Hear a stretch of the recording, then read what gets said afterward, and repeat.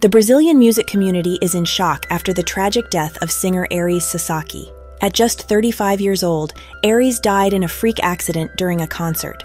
According to multiple reports, on July 13th, while performing at the Solar Hotel in Copoulos, Brazil, Ayres was fatally electrocuted when a soaking wet fan hugged him on stage, causing a nearby cable to trigger an electric shock.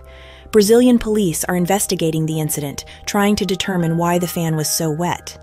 Ayres' aunt Rita Matos told local media, We are talking to people who were with him at the time to understand what happened. We'll gather all the information and release a statement to the press. The Solar Hotel, where the concert took place, issued a statement on Instagram on July 14th saying, We are fully dedicated to supporting his family and taking necessary measures. We reaffirm our commitment to cooperate with the authorities for a proper investigation.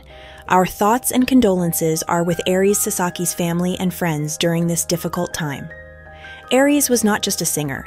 According to his Instagram bio, he was also an architect and urban planner.